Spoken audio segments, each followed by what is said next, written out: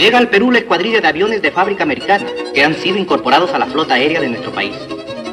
Este efectivo aporte a la aviación peruana es recibido por los futuros pilotos de las flamantes máquinas adquiridas que realizarán, con auxiliares tan poderosos, mayores proezas para beneficio del Servicio Aéreo Nacional,